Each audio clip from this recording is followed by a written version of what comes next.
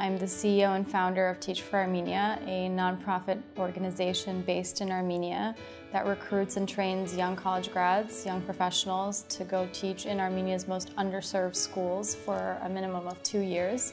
My mother was a big influence on me in, in this. Why are you not teaching in Armenia? They need a teacher like you in Armenia. And so the next thing you know, I'm in Armenia and I'm trying to get this off the ground.